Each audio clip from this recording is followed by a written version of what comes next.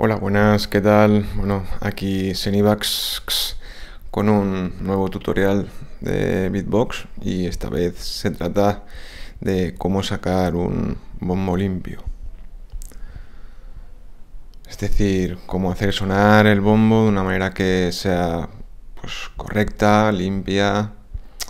He estado pensando en ello durante mucho tiempo, durante este fin de semana y la verdad es que después de mucho pensar no, he encontrado nada que,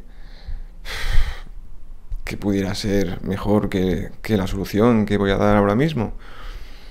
Es que es un tema complicado, es decir, esto de hacer sonar el bombo y que suene limpio es complicado. Yo he dado con una solución que muy corto periodo de tiempo el bombo, vamos, más limpio imposible. Os lo digo, o sea, imposible.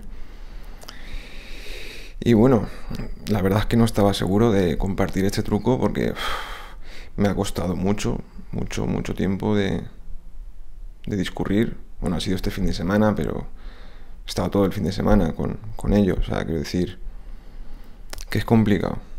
Mm, de hecho, no sé yo si, si compartir el truco este con vosotros, porque vamos, no sé, no lo tengo muy claro. Pero bueno, lo compartiré. Va, venga, sí. Eh, una cuestión así de colegueo y tal.